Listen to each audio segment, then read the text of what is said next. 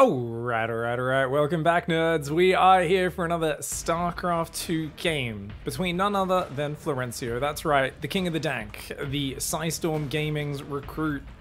That's right, the team that was mad enough. Only an American team would pick up a sewer mermaid, a dirty cheeser, a delicious freak, and a fantastic content creator, Florencio, for their team, and I love to see it. Up here in the top left, he's on Stargazers. He's up against Kais in the I always think that think of this as the reversal matchup, right? Because Florencio was originally a Protoss player. He's been playing a lot more Zerg and Terran recently and really enjoying foraying into all different sorts of things.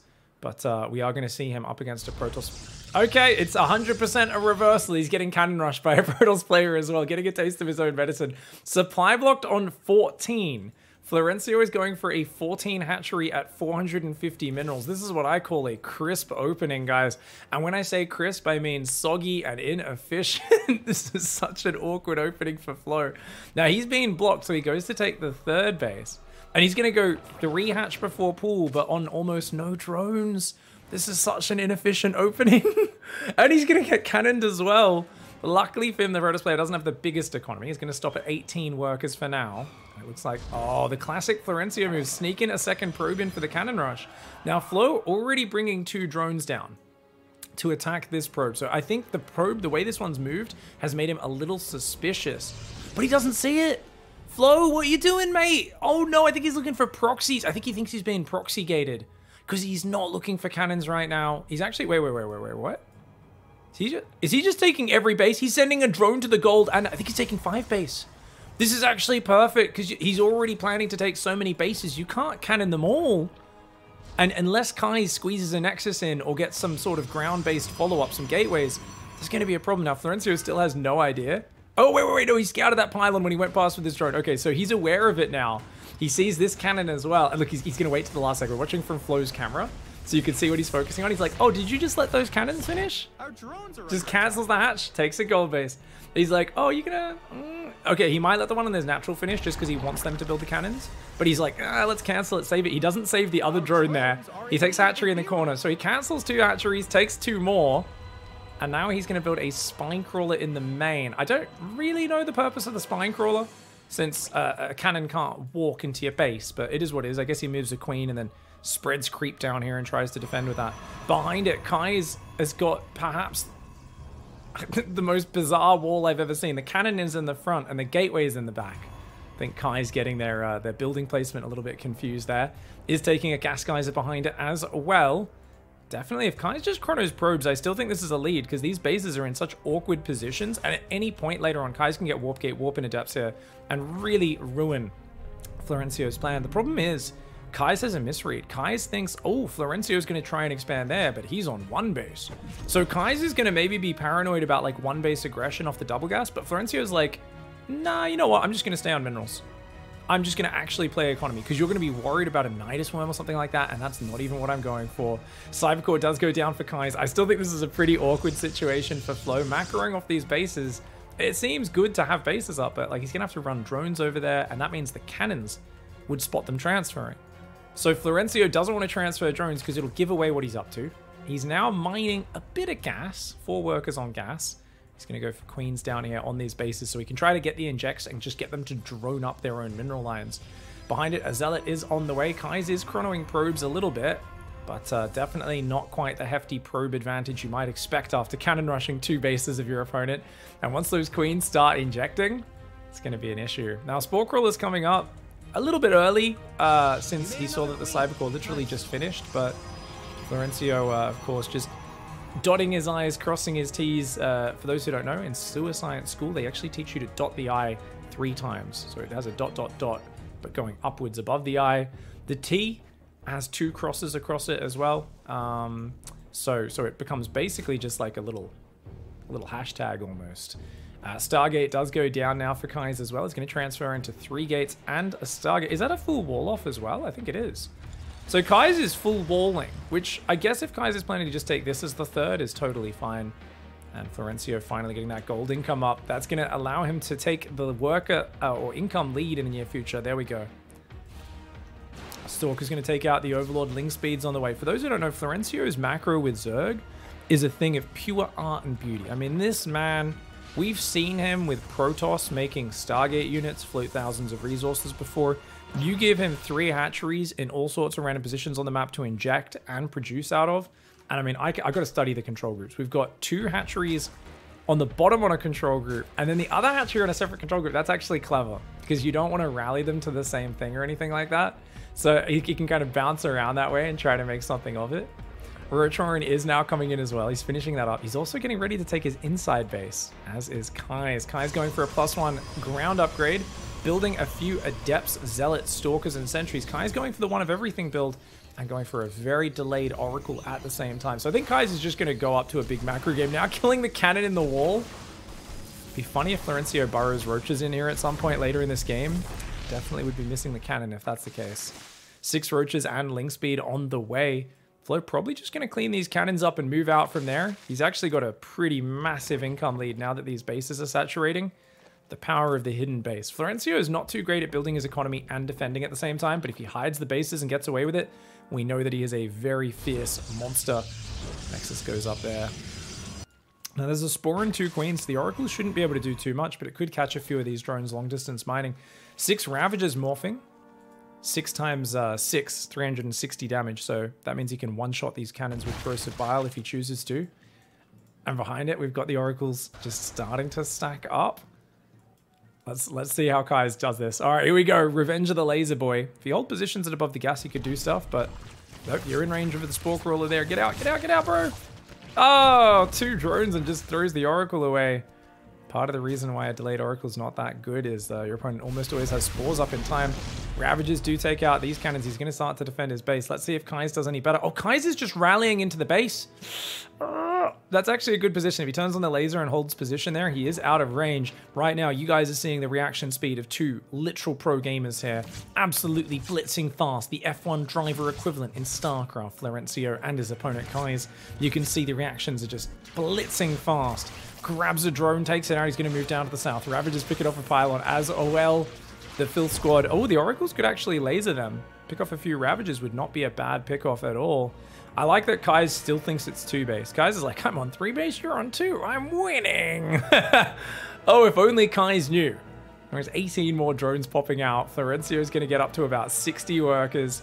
And behind this, we have mass stalkers with plus two attack. So Kais doing the classic uh, Protoss ladder Protoss thing. For those who don't know, what, what is a ladder Protoss thing? Most players who play Protoss on the ladder, I find they see pro gamers play Blink Stalkers and they're like, those units must be good. Forgetting the fact that the Blink Stalker is pretty much the worst stats for cost unit in the entire game. The reason it's so expensive is it shoots up and shoots down, has good range, has decent maneuverability, and you add Blink and it has amazing maneuverability and becomes one of the greatest units in the game if it's microed by someone who can utilize it. Which means if you're hero, if you're Parting, and you can kind of get some value out of it as other pro gamers, but it's always questionable when an average ladder Joe decides to mass stalkers because their stats suck. So in a fight where normally most players are just attack moving, they really don't pay for themselves. Florencio losing a few Ravagers here. Nice Oracles. They get one, two, and they actually left the other Oracle alive on the other side. He's going to go after these drones, though. Uh-oh. Going to get a bit of a laser party here. Could easily take these spores down while they're building as well. Just click on those spores and you will take him out. There we go. But, oh, running away a little bit. There we go. Gets another spore crawler and we'll just back away. Behind this fourth base is on the way. I think stalkers aren't the worst thing in the world if you back them up with like Colossus and Disruptors and Storm and all that splash damage stuff. Like they're a decent general support unit. But if you're relying on them for your raw damage, you can end up in big trouble. And right now, I think Kais is doing it for a good reason. I'm four base, you're barely on two two bases, if even like this third is just coming up. If I make a generic unit that covers all my bases like Stalkers, I should win. But that's because Kai doesn't know that Florencio's now even taken the bottom left corner. He's taken three hidden expansions. And, and Kai's, Kai's is like, wait, you don't even have drones on your natural. So Kai's is under the illusion that they are so far ahead in this game. He's like, all right, just mass gateways, keep building models and stalkers. There is no way to lose this game. We can see that the economy is actually very similar between both players. Let's let's bring up that income tab in the top left, you can see, yeah, it's pretty darn close. No splash damage on the way is always a problem against Roach Hydra. Roach Hydra is very friendly for attack moving players. Roach is cheap and tanky, Hydra is big damage, good range and everything. Oh, the Oracles fly in and one of them dies. Really thought a few more were going to go down, but they are all heavily bruised now as well. Seeing the Master Roach Hydra army there, I wonder if it's starting to dawn on Kais that there might be something else going on in this game. In general, when your opponent's doing stuff that doesn't add up, guys, you always go and scout them out. This is one of those instincts. If your opponent's very cheeky, very cheesy, does weird stuff, or if the game just doesn't make sense, you always just grab a probe, cue it around the edge of the map. You know, it, it, doesn't cost you anything. It's a single action, a single worker going for a scout. It, it, it really is something that you've got to build as an instinct. And until you get to like GM, a lot of players just don't do it. And honestly, I was doing my hidden base challenge. I was taking corner bases the other week, and I was surprised by how many games the corner base never got found. Because I was like, does this like isn't it obvious? Doesn't this add up? Like what the hell, guys? There are other games where people got onto it straight away. Obviously, were really like, hey, this game doesn't add up. They quickly go and check the corner. But there were other times where it was like a 25 minute game and I'd completely mine out one or two corner bases without the opponents finding them. Now, Florencio's going Infestors with Pathogen Glands and a Hive, but he doesn't have a Lurker Den. Remember, he doesn't go Evo Chamber upgrades, even though he's got two Hydra Dens. Uh, that's interesting. Second Forge on the way. Still no splash damage, though, and just adding charge. I I'm always amazed at how slow ladder Protoss players are to add splash damage to their armies. When, like, I always feel like just rushing splash damage is almost like a no-brainer, right? Whether it be a few Colossus, a bit of Storm, but only now do we see Robo Bay and Templar Archives. And I get it. It's the misconception. It's that, well, you have so little economy. I, I, don't need to tech up. I should be able to just outgun you. But look how many Hydras that is. 38 Hydras. You had Fungal, which will ruin Stalkers. If you can get up like three Robo Disruptor, and indeed there's two Robos and a Robo Bay, that ruins this army. But Flo going Spire. Maybe he goes Broodlords here. He's building three macro hatcheries. Florencio realizing I'm not the best macro player, the best mechanical player let's make sure we, we, we give ourselves some extra production, a bit of insurance. He doesn't have the biggest work account either, but uh, I think it's enough for him to build a good army, but he's maxing on Hydras. I, I can't get behind this choice. Florencio normally likes to counter his opponent, and Zerg naturally often ends up needing to just build units, right? Especially once you go into a macro game in general, you need some sort of core units you can rely on, and Hydras aren't bad if you trade early enough, but if we let Storm and the Colossus and everything else get in, that's going to be a problem. The Colossus are supply blocked right now. That's huge. He might be able to crush this army. If he can get a good angle, some good fungals, Florencio is up 15 army supply. He fungals and misses everything. The first fungal landed halfway between the Zealots and the Stalkers. Absolutely great. oh no, and now he's shoving into a choke point. Florencio no concave management here. He does land a nice fungal, but all he needs to do is spread his units out in an arc. But I don't know. I don't know if I've ever seen Florencio spread units in a, in a firing arc before. He does do a nice hold position, gets the Nexus and some probes, but he's out of fungal now, and his Infestor's going to derp into the front. If you can just have more units spread out in a big firing line and your opponent's clumped up behind each other, you do have very nice firing superiority. One Mutalisk, one Neural Parasite, one Hydralisk in production. That is the most Florencio production tab I have ever seen.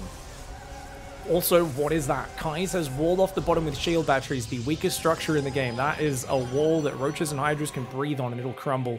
Um, Storm and Colossus are coming out though. The first two Colossus are here and they're going to destroy hydras. Florencio, oh no, he's lost all of his infestors so he can't use Neural on them. I mean, as I said, he's going to take out that battery wall very easily, but oh man, that fungal could be good. He could throw a nice one. He's got to run. Get out of there, Florencio. Those Colossus are roasting and toasting. Oh no, he's attacking into a choke point. It doesn't matter how good the fungal is. If he had lurkers, he would destroy this army, but just Hydras. Oh, Florencio. He steps into the meat grinder. Oh no, he loses his entire army. The units lost have terrible fam.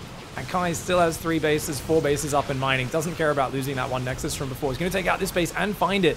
Florencio is trying to swap into Mutaling. 22 mutas on the way. He cancels all the units in the bottom right so as to not reveal his hand. The sewer man always thinking about hiding his dirty next step. Hydra there and a single Mutalisk doing damage. Unfortunately, he accidentally built one Muta and clicked it in here. I'm, pre I'm pretty sure that was a misclick for Flo. He's going to try and move across the map now with the Mutas and the Lings and go for a bit of a base trade. I think that's a wise choice. Stalkers are not the best at dealing with it. They're okay. There's not a lot of cannon battery. If there was cannons and batteries everywhere, this would be really hard. As it is, though, the mutas are going to fly on in. That is going to be very difficult for Kais to deal with. The Lings could join up. Oh, nice recall, actually. Dude, that might be a sick recall if he just blinks on top of these mutas. Oh, Mutas are stopping a fight. Florencio, there's no way. There's way too many Stalkers there, dude. He's already lost four Mutas. A lot of them heavily damaged here as well. But Kais needs to split these Stalkers up between the bases and make sure he covers his worker lines because Flo's getting epic, epic worker damage. He's already brought up to 41 probes killed this game. Those Mutas, a few of them do start to fall, but he's going to get another worker line. Kais, the Colossus roasting the Zergling Stalkers coming back. He's going to clean up these Mutas, but can Kais split the army? We've seen that both players are not using army control groups. This is this is that level of play, guys. We're talking world champion hero caliber play right now because he can run around with these mutas and just abuse their mobility like no tomorrow. Cannons try to start. Cannons get clicked down. A couple of probes go down as well. Man, this is big damage. Guys, you gotta blink on that, buddy.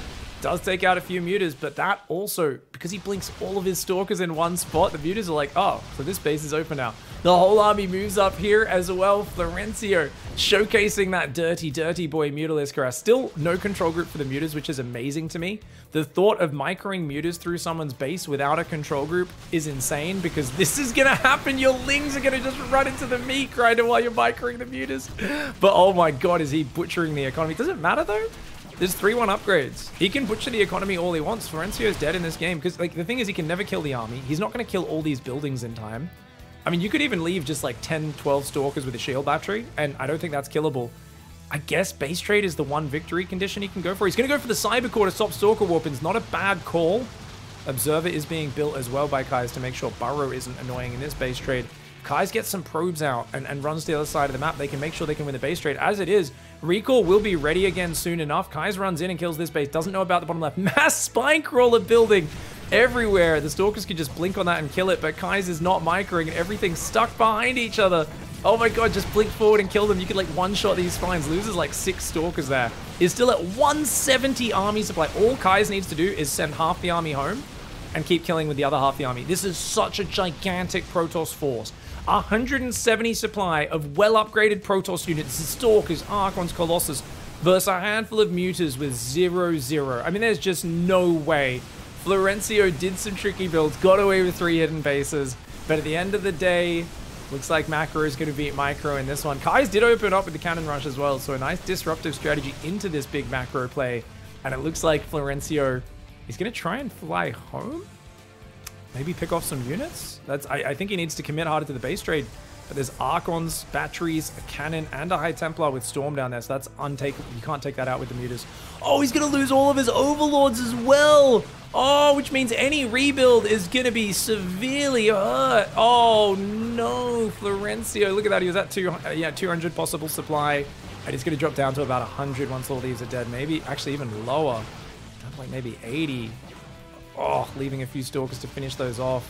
Florencio's going to come back and try to finish these buildings, being a little indecisive. He's got a lot of Hentacles there. Let's see if the Stalkers blink on this, they could take it out, or if he just lets the Immortal Colossus. The Colossus can clear it up for free. He's already lost one Archon. He, he loses another Stalker, another Stalker, so it's two Stalkers, maybe three or four Stalkers, and an Archon will go down here. Oh, actually, another Archon's going to fall if he doesn't blink forward again.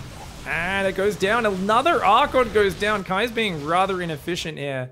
But as long as Kai sends a few more units, maybe we're good. But Kai's F2s! No, Kai's! This base was unbreakable. You're going to win the base trade if you leave those units there. Oh my god, and Kai's just F2s the entire army. Uh, but wait, wait, sorry guys, not F2 presses select all army, goes control one, and then says, no, no, no, I'm, I'm, I'm using my army hotkey. it's like, what are you doing?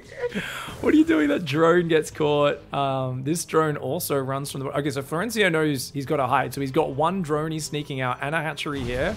He's realizing now it is, it is a full base trade. That Protoss army is still 160 supply. He's going to run a drone into the Protoss base. He's, and he's going to try and take a hatchery up here, I guess. Yeah, yeah, yeah. He's going to try and build a hatchery there. Oh, the spine crawlers kill another stalker and an archon. Guys, you know your Colossus outrange spines. You can just A-move it with Colossus for free. Guys. Oh my god, guys, Micro is, is next level. Another Archon goes down and another Stalker goes down. My lord, that is, um, it's impressive how much, I normally Spines kill almost nothing at high level. They're actually doing a lot. This is this is fun. The mutas right now are like, uh, sir, um, we we have a, a grenade and a, a biplane, a, a, couple of biplanes with grenades, and um, and and they have literal literal Battlestar Galacticas, man. They have uh, they, they, they have everything, dude. I guess they don't have carriers, no Battlestar Galacticas. But uh, anyways, the mutas take out the cannons. One or two of them die. It's only 23 mutas. They can die to like half of this army. 15 Stalkers and a, and a High Templar with Storm, and they're dead. They get the Nexus though. Okay, he's got enough money to rebuild though. So Kais can easy rebuild that Nexus. Just uh, let's see if Kais can figure out how to box the army, put it there, and then control the rest with the other half. Nope. Nope. Nope. Still still struggling with that mechanic. oh my god. Florencio. You know what's crazy? This game's all been about hidden bases. And Florencio is completely dead. Like, it doesn't, he can buy time, but like, he should never kill this. The Protoss is splitting the units up! But for some reason, he's left all the anti-ground units here. And only three Archons, which arguably three Archons could die to 22 mutas. It'd be hard, but it's kind of funny that he's, he's doing it this way. The probe should clearly stay there and build a Nexus as well and start mining, right? But he does catch a few more mutas. Two of them go down. Florencio's hiding a base here as well. Okay, so, so Florencio has realized in this base trade, it's only a matter of time till Kais comes down and finds this base. But because Kais didn't notice this hatchery go fast, there's no reason why Kais would go back into his own main and natural. Because he was in the base trade, he didn't notice the drone walk in. This is actually the dumbest, dirtiest trick ever that Florencio has done. and Kais doesn't know about it. And as long as he doesn't lure his army all the way over there to see the creep spread, there's no reason Kais will ever notice that hatchery. So Flo with one drone there, with 11 drones here, a spawning pool there and a hatchery there, is just going to try and distract for the next 10 minutes with these mutas while he slowly rebuilds. At any moment, Kais can just, like we said, leave some army and split up. Just leave a few Stalkers and the three Archons there, defending this Nexus. And the other half of the army just go around killing the bases. But Kais much like a kitten that has a, a red laser a laser light shone on the wall in front of it, is just like pouring at the Mutalisks. The Muta's just flying around in a circle, luring him. Kais is not going to be able to build more probes. It's just five probes mining. So Kais can't actually build more probes until they mine enough to build about uh, 15, like 14 pylons, something like that. I'm not good with numbers. Uh, 14 times 8, I think. Yeah, about about the right number, something like that. Stalkers are here. The Mutas seeing if they can fight. They definitely can't fight against that, but maybe they can just pick off buildings on the edges, which doing a decent job of. It's getting damage. Maybe catch a High Templar. Storm does wound them. And Kai's... Oh, if he just blinks on that, he can kill a lot of these. The Mutas come in. The Stalkers don't blink, though. Kai's struggling with the multiple spellcaster selection there. And Florencio is droning. He's droning. He's back up to 20 workers. The advantage in this scenario and because he got some overlords away to the bottom left, not a lot, but some, is because he has so few units, he can rebuild drones without having to build 50 overlords. Kai's, on the other hand, has to save money to build 50 pylons, which is why, with 145 army supply, you should just win. Even if you just send all the Zealots and Colossus A moving around the map, you're going to find the bases. But Kai's problem-solving hat is absolutely not on. Kai's is just sitting there going, I guess I just rebuild? But Kai's has not figured out that when you're this supply blocked, rebuilding is not a thing. If they're rebuilding and mining at all anywhere on this map, they're going to be doing it faster than you. Because you're just stuck. You're gridlocked on five probes. Queuing up four probes. Oh no, Kai still doesn't realize the supply block, right? Okay, there we go. Clears the queue and starts a pylon. But that's 120 supply block, mate. You're to need a lot of pylons to get past that. so dumb. Stalkers can blink on this. I still feel like Florencio's Muta Micro. He leaves two Mutas behind. He gets a probe, flies away. The Stalkers do not blink on him to punish. There we go. They get a Mutalisk, but losing a probe is massive. Florencio is still just building overlords, building drones uh, wherever he can. His Muta's flying around. Kai's right now. Let's go to Kai's camera and try to get inside the head of this Protoss player, guys. Because I, I, they've queued up and they built one pylon, they've selected the Nexus, and they queued up four probes again. Kai's has still not figured out how the supply block works oh man, two mutas go down. They get a probe though. That means there's only two probes. If those probes die, then you're screwed. I mean, why don't these other stalkers just run up on the high ground? He could easily catch all these mutas. The mutas are trying to stack up to take a fight. He gets the probe. He waits for the probe to come in. Gets it. Gets out. Oh, he does lose another mutalisk though. Guys, why don't you just go up there with your stalkers? What? Guys goes up there and throws the stalker away. What is happening in this game? And guys are like, I'm winning, right? I'm building two more pylons. I think that'll unsupply block me. Let's try and queue probes again. Oh my god, what are you doing? What are you doing? Florencio's got a lair and a spire rebuilding right now, guys. So he's making two lairs in case one of them dies and a spire. And he's looking for the very last probe. If that guy dies, he knows there's no rebuilding for Kais. Now, he probably shouldn't do that because that might prompt Kais to actually be smart enough to use his units. Kais only leaves four Stalkers and a High Templar here, though. No, no, no. You, you can't just leave four Stalkers. What are you doing? What? The mutas are going to come and he trades one muta, but he's going to kill the High Templar and all four Stalkers and the last probe. And then Kai's Panic F pulls these Stalkers home. What? Why are these guys not defending together? He's trying to defend his infrastructure on the right side, but his infrastructure is worthless. Kai's is going back to the main base, but still not checking his corners. In this game, Florencio peeking his head out of the sewers, going oogie boogie. Finally, Kais goes and finds one of the bases, but that's only one of them. And you can tell that Kais is just not thinking about what's out there. Kais is so panicked, so adrenaline riddled, so unable to think straight in this scenario.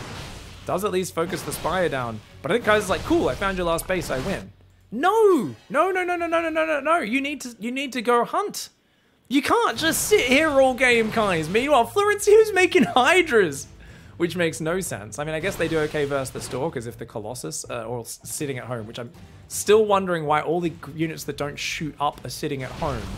You think they'd be out there hunting the map and scouring it, right? To, to see if you can find your opponent's economy. And the Zealots especially are super expendable. Imagine if they just queued around the map. The Mutas would take forever to kill them. These are, these are plus one armor Zealots. And uh, he won't even see you leave the base because there's so little vision but Kai's right now showing the problem-solving uh, solutions of a geriatric donkey is derping back and forwards and just hugging the Nexus. The thing is, this Stalker count, that's only 13 Stalkers. There's 3 Archons, 25 Stalkers, and a High Templar. Having thrown away so many Stalkers in this base trade, that's enough that could get overwhelmed by the Hydras and the Mutas. The Hydras and the Mutas could trap these Stalkers, kill them. And then he's low on anti. Why is he sending? He's still leaving all of his anti-ground units there. These these guys are going to get cornered. Yes, he's finding more bases. He will ruin Florencio's economy. And I mean, he could even lose these and still potentially win the game. But the Mutas and Hydras, these Stalkers, oh god, oh god, he could he could try to recall. He's going to blink on top.